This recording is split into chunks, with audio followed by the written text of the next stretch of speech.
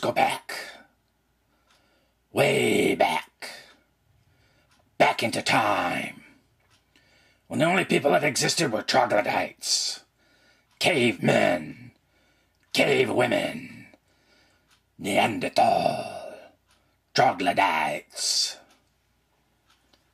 So, anyway, for those of you that don't recognize where these words are from, go look up the song Troglodyte by Jimmy Castor Bunch. It's from the early 70s, and it's actually a pretty fun song. It even spun off some other ones like Bertha Butt and the Bertha Butt Boogie, and on and on. Go look at them up. Anyway, since I'm starting to get flack about being older than dirt and all that kind of stuff, especially from the youngsters these days, I decided to get a copy of the first model I ever built back when I, know, I guess I was eight years old and build it again. Hopefully, better than I did when I was eight years old, which was, um, if I remember, it was a look back, it was a total glue bomb. And uh, you know, hopefully I'll do a better job on it this time. Uh, actually, my parents had a car just like this when I was a kid. Okay, so I might be stretching the truth just a little bit. But anyway, uh, this is the Lindberg 125 scale Flintmobile. Um, I thought it'd be a quick, it's a snap tight. I thought it'd be a fun, quick build. Uh, I already started it before I decided I was going to be making videos of this stuff. So it's about half done already. Um, what I did do already is I pre-assembled these assemblies and although it's snap tight I did glue all this stuff together. And I have started painting already. And as you can see move this out of the way. There there's these pieces that I've already done. Uh, there's the roof. And as you can tell I've already been like weathering and and whatnot, trying to make it look a little more real. It is a cartoon, so these I painted kind of a, tried to go with a granite color. Uh, the wheels, you can see that. Hopefully it'll focus. Oops, dump it there. I'm hoping that shows up all right. And there was just some little other little pieces, cross pieces, and steering wheel and the seats these are the seats which I haven't finished. I started on the one. I'm not sure I like what I'm doing there but anyway that's all part of the painting process. I jumped ahead of myself and I usually prime everything. Normally I use a primer from you know uh, Krylon, Plasti-Kote, um, Rust-Oleum, one of those three usually. When I started to wash these, I was trying to, I kind of went backwards. I decided I was going to start washing these to get some dark down in all the grooves. And when I did, uh, these are all craft paints. And you thin them down, you know, it's like folk art and deco art and Craft Smart, any of those. These are ones you get Hobby Lobby and Michaels. are pretty cheap. I thin them with, uh, you can thin them with water. I use um, automotive washer fluid. let me reach across here. I keep some of it in these little bottles. It's easier to handle. Just the blue. The blue, when it dries, it's not there, so you never see the blue that's in it, the blue dye. But anyway, I was doing some wash and I thinned it out with with that and because I didn't prime it first, the paint started coming right off the plastic. So I had to stop. I went over what I already did and uh, sprayed it with a, a matte clear acrylic. Um, this is the one I have right now. It's Treehouse matte clear and I sprayed that over it and it helps lock it all on there seals it up and now I got to go back and start finishing. And now that I fixed my mistakes, I got to go back and try and finish it. So that's what the rest of the build is going to be. We're going to finish it up. So let me uh, reposition the camera and whatnot and get to painting. I probably won't talk much while I'm painting. So it'll be kind of quiet. If I have a note to say or something, I may say it. I may just put it as notes in the bottom of the screen. And I'll try to give you some kind of sweet music to tickle your ears while you boringly watch me paint. I'll put up what I'm, I'll try to put up notes of what I'm doing. So anyway, let me get to that and uh, we'll see about wrapping this video up and we'll have a completed model when we're all done. Painted them this lighter brown, which is chocolate brown. And it's just a regular craft paint, like I said before. Um, then I wanted to do a dark wash to kind of accentuate the uh, you know the grain in the wood, help to make it stand out more. And as you can see, this one's been washed, has a dark wash, and you can probably see it where it, it's, it's darker now because I messed up. And that's the lighter color. That's before the wash. Before the wash, after the wash. Thing is, is I mixed up a wash. And what I did, put that there, is I picked up the brown, but I picked up the wrong brown. Too much stuff on the desk. And I end up using this darker espresso. And I should have just thinned this down and probably used this and it would have looked pretty good. And I, what I did is I mixed a little bit of black into it, just regular old black. And then I thinned it with the washer fluid. And you just work thin it down to what is you're comfortable with, what's thinner, because you just kind of brush it on, you let it sit a little, just a short little while, and then you just take an old piece of sock or something and dab it and and leave it so it sets down in the low spots and you try to wipe off the excess off the high spots. so I don't know, I'm happy with it though, even though it's darker now. Um, it's kind of a happy mistake. And I already did the cross bars that go in between these like that. So now we're going to do the other side. And I also have the seats. I painted the backs the same uh, chocolate brown. So everything should match pretty good. Uh, this will be lighter according to the paint instructions. Um, you don't, you know, whether you want to follow them or not. This is supposed to be lighter. And then this is the darker, just like the main log. So, alright. anyway, let me uh, just take an old, just a kind of a flat brush, make sure it's clean and floppy. And I just keep my little bottle of water over here to clean the brush later. Alright, so basically this is pretty thin. Actually, it's been sitting here just a little bit, starting to thicken up a little. Um, actually, now that it's been sitting here just a little while, let me add just a little more cleaner into it. And you just kind of, you don't, it doesn't really matter how much, it's just whatever your, whatever seems to feel right to you. Hopefully that ain't too much. If not, it's just going to be thinner. And just take me a little, I always keep these little sticks and mix it up. Just make sure you get it mixed up real good so it's all consistent. And there, I don't know if you can see, when I hit the bottom, it just, it's almost like water running down the side. It's pretty thin, if you can see that. Yeah. Hopefully you can kind of see that. if you can or not. Trying to not get in the way of the camera.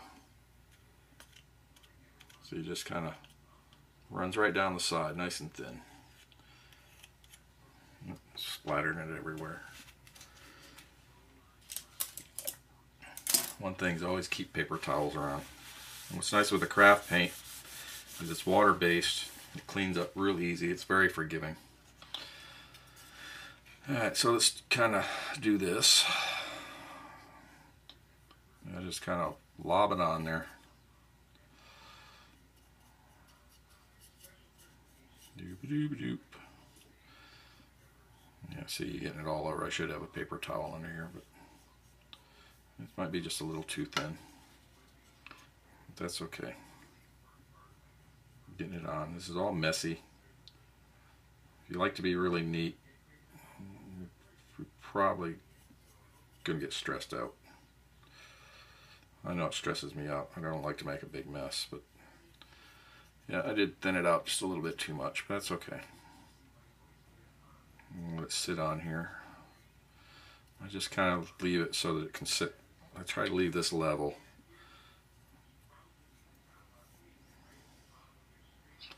It's a little bit thin.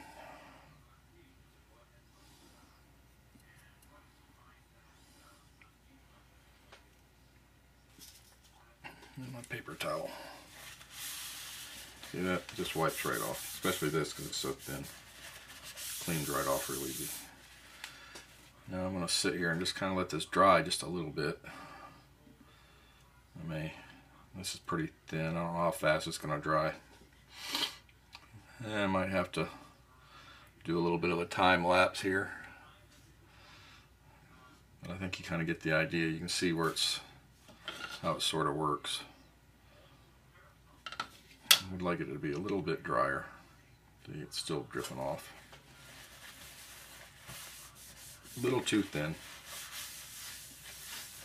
Also kind of depends on what you're doing a, a wash on. Might be sometimes you want it then. Let me see, take a piece of this. And you just sort of kind of lightly hit it. Yeah, it's a little too thin.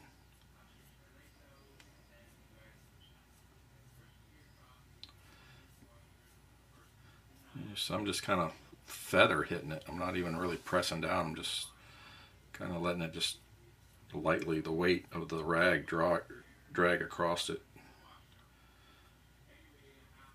Try and get down in some of these spots where you don't want too much.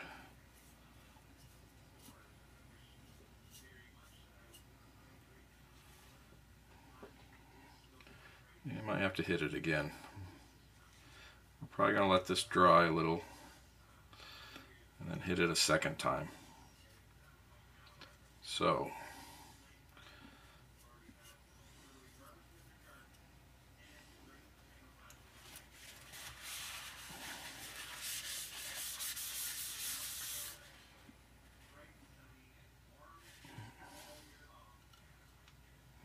the back side here, see?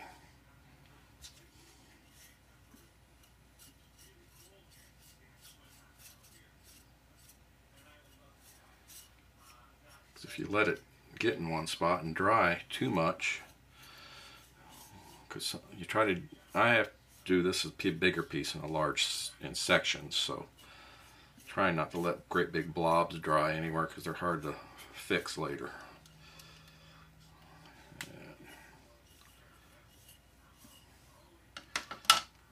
Let that sit. We're letting that dry. I'm going to get a mess everywhere. Maybe we'll, I'm gonna let that sit a little bit open. I've been keeping that covered, but I'm gonna let it sit open. Maybe it'll dry up a little bit. These are done. I'm gonna set these off to the side. And I got these to do yet. Let me, these could actually be, these are the seats. So they don't have to be these kind of need to match each other. So see how this one's probably gonna be, right now it's looking like it might be a little bit lighter. So we'll see, especially under the light there. So we'll see how it dries. I might just have to hit it one more time. It's not looking too bad.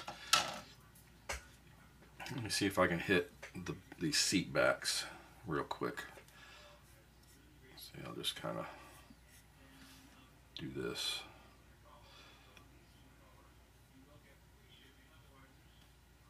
There we go.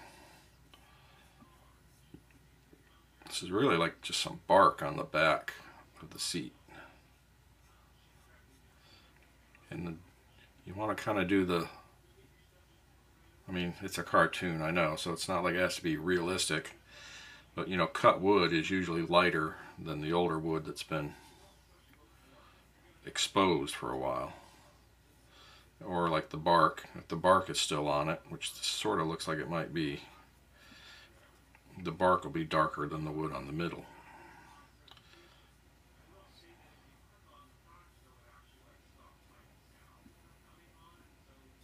But that's if you just want to, if you're going for a little bit of realism, which is, I know, stupid on this because I'm talking about a cartoon car. At least I think it's a cartoon car. I don't know, maybe there really was one of these on the road. If it is, it's a pretty old car. Probably have to get collector car insurance.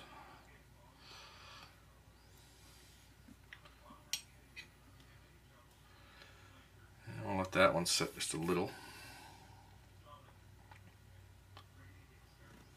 Yeah, it's looking. Yeah, I'm gonna have to let that dry and, and hit it a second time probably.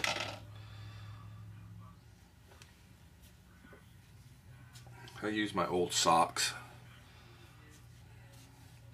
they get stretched out or get holes in them. If they've been through the laundry for the last time, I cut them up into these little pieces and they're good for doing this kind of stuff. They make nice little rags. Let's just see.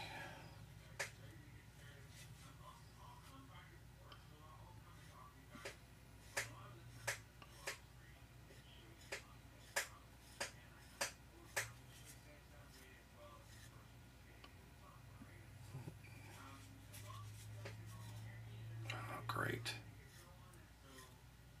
Just what I didn't want.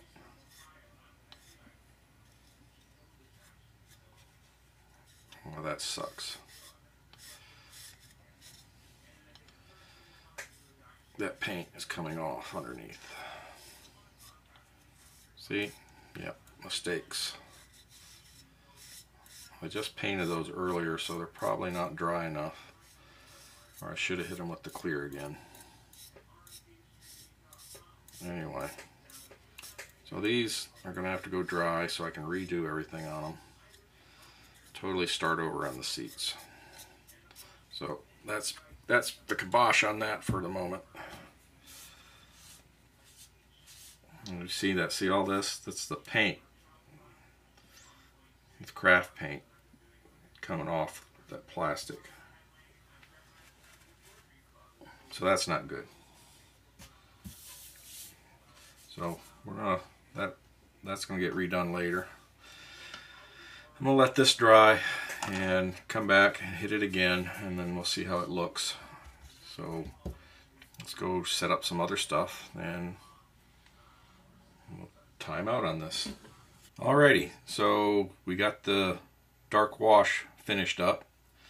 Uh, remember this was lighter. I ended up doing two more coats on top of the first one uh, to get it to match pretty good. Uh, I definitely got that washed a little too thin when I thinned it out. So that's all done, that's matching.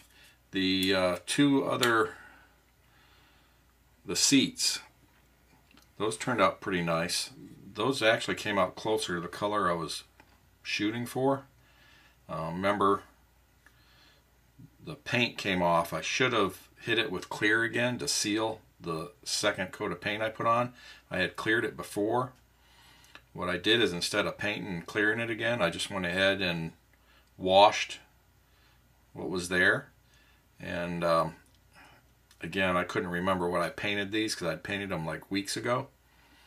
And um, I'm pretty sure I had painted these a, a different brown. And I think it was the golden brown. Um, I'm not 100% sure, but I think that's what it was. And with the wash, it actually looks pretty nice. I like it. And um, looking at them, they're a different size log than the logs of the main body. They even look a little different as far as the grain on them. Um, so they could probably be a different species of wood. So they would be a different color. They're pretty close. I like them. I think it's going to look all right. Um, that's what I'm telling myself anyway. Um, and, you know, that's my story. I'm sticking to it. Yeah, I think that'll work. So that's done, other than the faces. I'll get back to that. And I started messing around. I went ahead and washed the steering wheel and made it look close to the same color brown. So that matches pretty good. I still got to do something with this. I don't like that. And then I started maybe playing around with the uh, these lashings. And this one here was uh, moccasin brown for the little ties, these little X's. And I thought, yeah, that kind of looked all right. And then I used the moccasin brown on this just to see how it was going to look.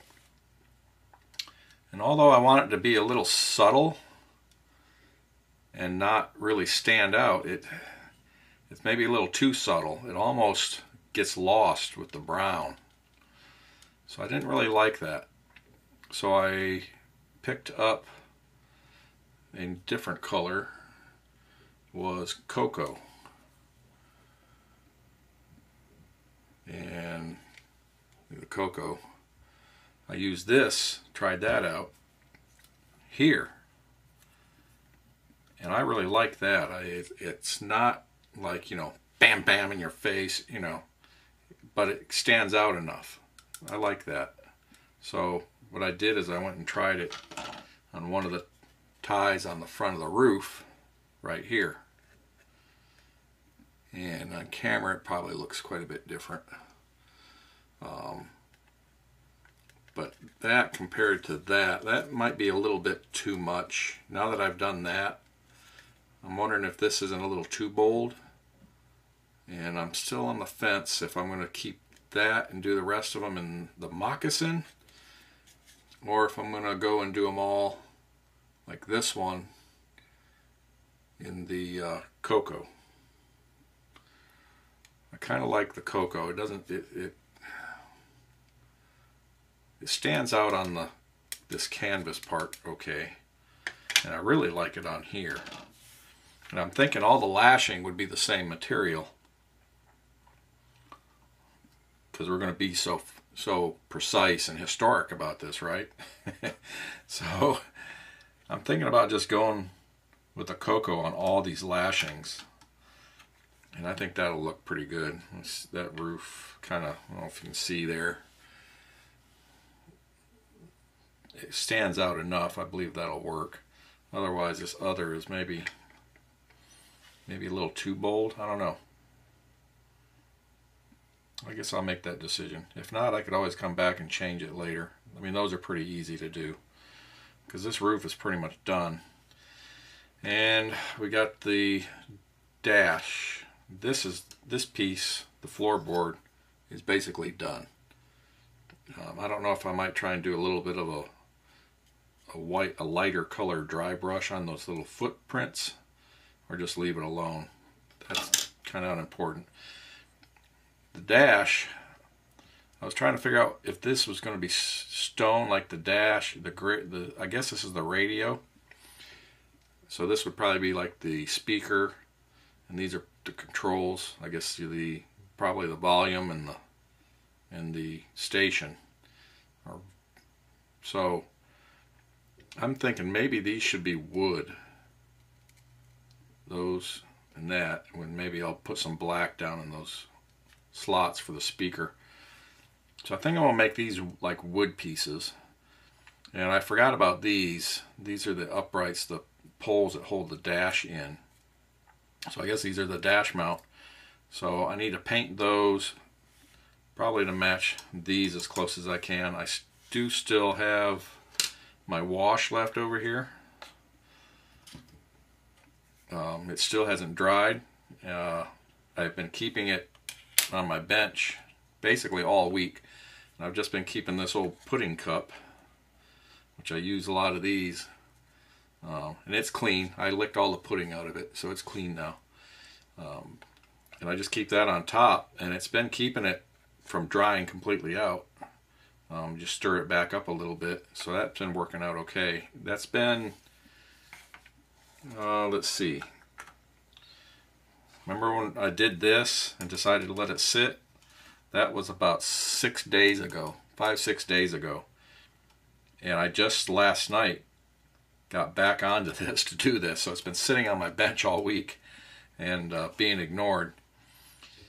And that wash has been sitting here with that pudding cup on top of it. And I'm really surprised it didn't totally dry up, but I guess the cup is keeping the air out of it. So just goes to know if you got one of those little mixing cups, you can keep it covered for. It might even go another another week. I'm not sure, but I'm gonna try and finish it here today. Use it. All I got left are these two little poles here, so we'll get that done. And other than that, oh, the seats. We got these to do in here. Um,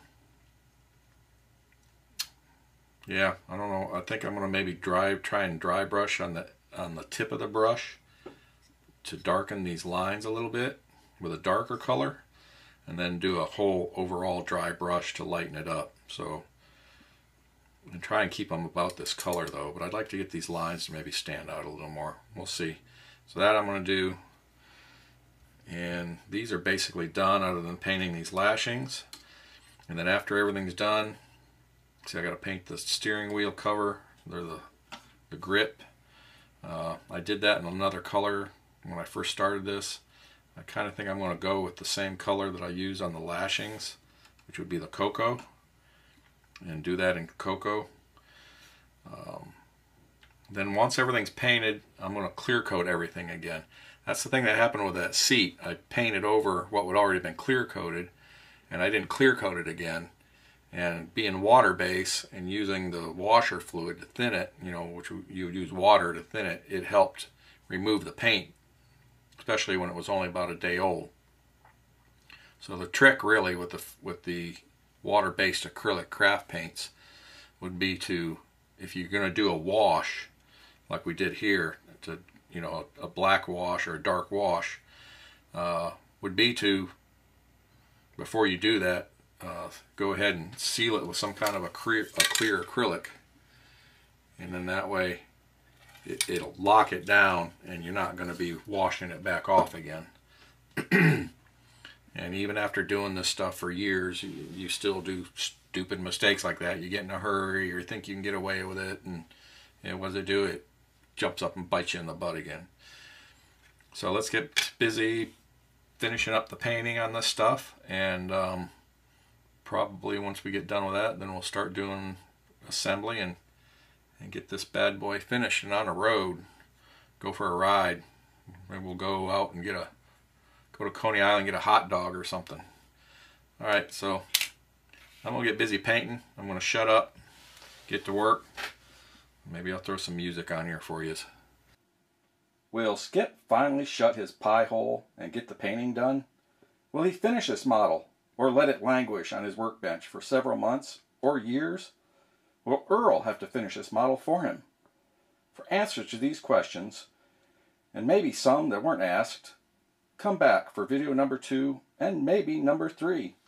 After all, it's only 30 minutes of your life you'll never get back. If you like this video, please subscribe to this channel, and thanks for watching.